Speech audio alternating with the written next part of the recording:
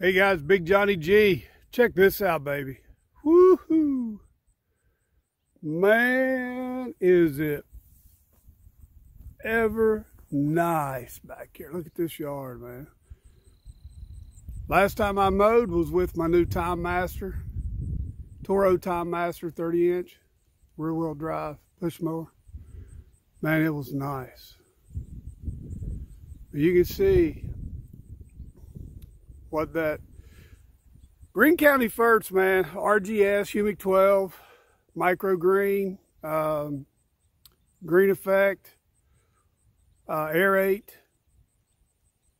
That's what I'm putting on here, Milorganite. Now, I did put a Lesco on here, excuse me, uh, a week or so ago or so. Um, you know, it was, uh, I think it was a uh, 18, 24, 14, something like that, NPK. But Lesco is the is the uh, is where I have to go to to get the professional stuff here. SiteOne sells it. That's where we get all of our stuff. Had a uh, deer get in on one of my uh, gold riders couple days, couple nights ago. Got his horns in there and twisted her up, baby. That's what they'll do. It'll be okay though. But you can see, man, it's it's really, really coming in nice. Let me show you the front. Check this front yard out.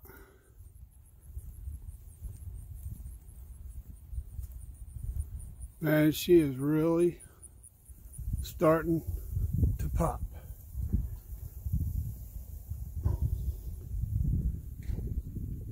You know, it's been one of those things that uh, you really don't know.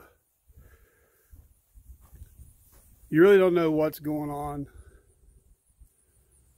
until you watch these guys, the professionals, uh, on YouTube. And the reason why I say that is, is I thought that I knew what I was doing. I didn't have I didn't have a freaking clue, dude.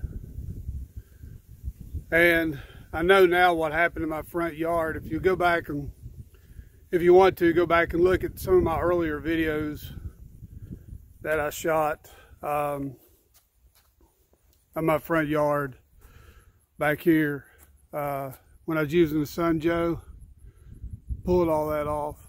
It looked like this right here. Let me show you what what what this back here looked like, looked like this. That's what my front yard used to look like. Right there. The whole front yard. I took the Sun Joe and pulled all that off of there. And now, this is what, that's what she looks like now, baby. Woo wee. Yeah, I'm tickled to death with it, man. But that's just thanks to these guys like the Ginger and Pete and Paul, Alan, Ryan. You know the you know the the, the next product videos, uh, DIY videos that are out there. That's guys. This is the fruits of their labor. Um, I'm the I, am I'm, I'm the uh, typical guy that's out here watching their videos and doing what they suggest. And there's results in it. Um, as a matter of fact, when I got my uh, Time Master in this weekend, come out and did a mow on my yard, I had to stop two or three times and talk to neighbors that wanted to talk to me about my grass. And I don't think it looks that great. Uh, it's a lot greener than anybody else's yards here. It's not as full as I'd like, but I have overseeded it and there's a bunch of new grass still coming in next spring, it should be fine. I'm pretty much done uh, with all my, my, my fall uh, and, and, winter uh, fertilization. I'm just going to sit back now and watch it grow. Uh, then in uh, February, I'll start hitting it again with the Milo and start waking it up. I'm to, uh, I'm to try the Carbon X as well. Um, but I, I, do know one thing, and this is what this this is one thing that I have learned. The mistake that I made this past summer, especially with all the heat we had here and no rain. Nitrogen. Because of the nitrogen that I was putting on my yard, that I was going by, you know, um, old myths or whatever without really doing my homework before I started watching the videos, because of the nitrogen that I put down, I created a fungus issue and didn't realize it until it was too late.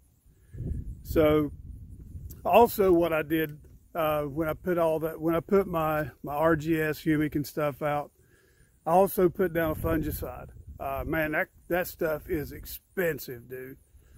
So I did put it out and I can already tell a difference. Um, now next spring, I'm going to have to I'm gonna have to hit the herbicides pretty good, man. I've got Bermuda here in this front yard. I have got Nutsedge, um, crabgrass, you name it, man. I've got, I think, I don't really stand a chance with all these vacant lots around me and everything growing up. We have goldenrod all around the back. I mean, when that stuff seeds out and getting wind, I mean, it's just going to blow in the yard. So it's a, it's a constant battle. But I know it's not one that I'm just facing.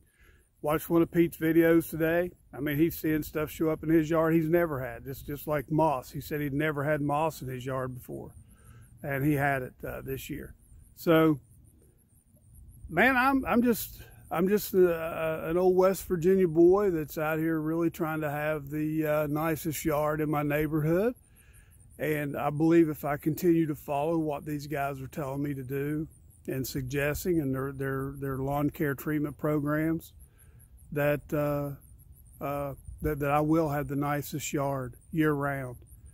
And, and I will make it through next summer a lot better than I made it through this one now that I know how to prepare in the spring to get my grass healthy and ready for that three month devastating heat period that we have here in this area. But anyway, uh, man, this is Big Johnny G, and uh, I just wanted to show you what uh, where we're at so far. But anyway, this is Big Johnny G. I'm out.